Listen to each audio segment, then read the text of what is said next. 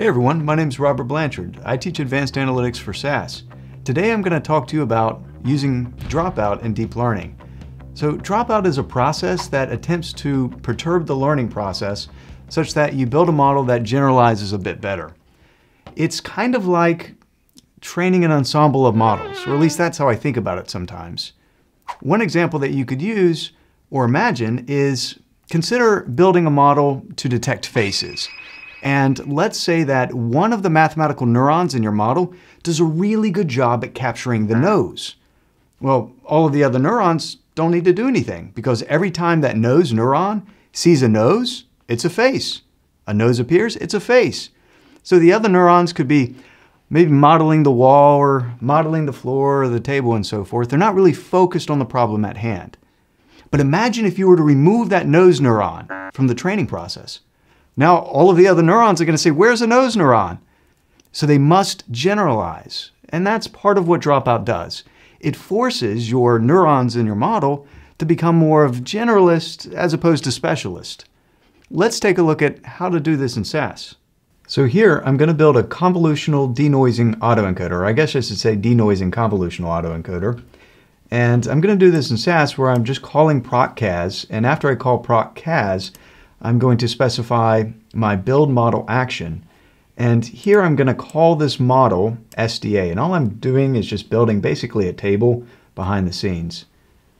After I build this model shell, SDA, I'm going to add an input layer. I'm going to call this input layer data. I know this is an input layer because I'm specifying type equals input. I specified the dimensions of the incoming images, and here's where I specify dropout and I'm including a dropout rate of 30%. Some authors and papers use 50%, but practitioners tend to lean more towards 30%, but really it's up to you and it's problem and data specific. Now denoising, convolutional autoencoder, that sounds complex, but the denoising part just refers to adding this dropout in the input layer. You can also add dropout to your other layers, like your convolutional layers, but in this instance, I decided not to. I'm going to run this program to build this model. Next, I'm going to navigate to my second program where I load up some images. This image data comes from a dataset called MNIST Fashion, and it's just small images of different types of clothing, and the images are grayscale. So I'm going to use this load images action to load up the images, and right after that, I use this simple data step to print out the images. It's always a good idea to take a look at your data. So let me do that. I'm going to run these first two actions.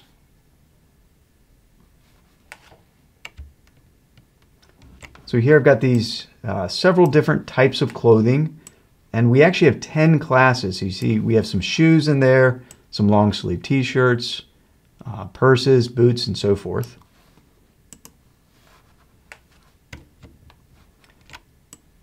Next, I partition my data using proc partition. Now this is a um, per good practice. It's really the paradigm of predictive modeling.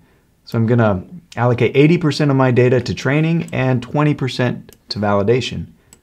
The next thing that I'm going to do is very important. I'm going to randomly shuffle my data.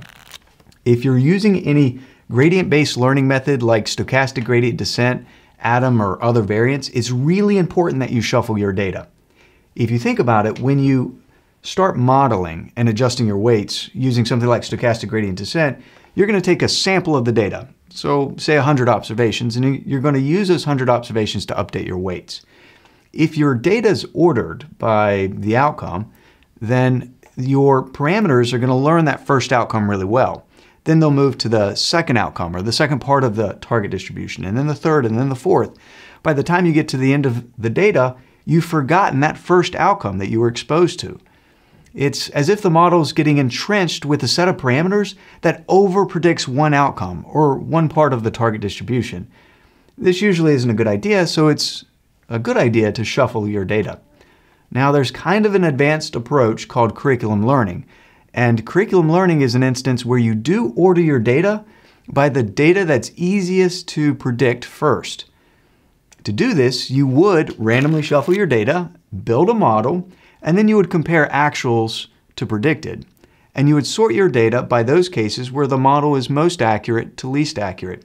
It's kind of like teaching a small child math. You wouldn't give the child advanced calculus from the get-go. You would first teach them what a number is, and then maybe how to put two numbers together and how to take two numbers apart. You would teach them multiplication, division, algebra, move into calculus, and then finally advanced calculus. So that's the idea of curriculum learning. Here, I'm just going to shuffle my data. So I partition my data and then shuffle the data. In the results window, I can see that each of the outcomes has about 15,000 images, 12,000 of which we're going to allocate to training, and 300 will allocate to validation. Last but not least, I'm going to train my model using DLTrain. And here in the model equals, I'm specifying the uh, model that we created earlier, SDA, and I'm specifying my table name here. So I'm going to run the rest of the program, which will train that model and then just build a nice iteration plot for us to view. Now, why, while this trains, I should say, uh, there's another kind of autoencoder that you can train. It's called a sparse autoencoder. We have these fancy terms, sparse and denoising. Sparse just means that you're going to apply an L1 or an L2 regularization to your autoencoder. Uh, the denoising just says, hey, we're going to corrupt or perturb the uh, input layer, so that, that incoming information. So here we have our results. We begin with the model information details. This model is really a small model. It only has 170,000 parameters. In the optimization history, I've got my validation error and my fit error. Notice that my validation error and my fit error, they don't represent a misclassification rate. Because with an autoencoder, if you remember, you've got your inputs on your input layer and your inputs on your output layer. So we're actually predicting each pixel value. Therefore, our error function isn't cross entropy. So in this video, we talked about how to apply dropout and deep learning. And I showed you how to do this in SAS because I like to code in SAS. But definitely subscribe if you like this video and check out the links below. Don't forget to leave a comment or a question and I'll get back to you with an answer. Take care.